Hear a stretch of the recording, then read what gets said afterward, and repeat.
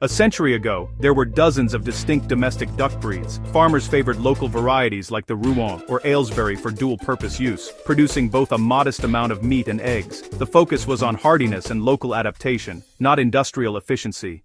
The modern poultry revolution demanded standardization. Breeders focused intensely on a few key traits, rapid growth, high meat yield, and feed conversion efficiency. This led to the dominance of just three primary breeds globally, the Pekin for meat and the Khaki Campbell or Indian Runner for eggs. We settled on these few breeds purely due to economic efficiency.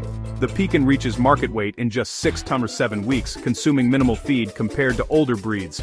Farmers chose breeds that maximize profit per pound, sacrificing the genetic diversity of the past for rapid, predictable commercial output. Duck breed selection over the last century has been a drive for efficiency.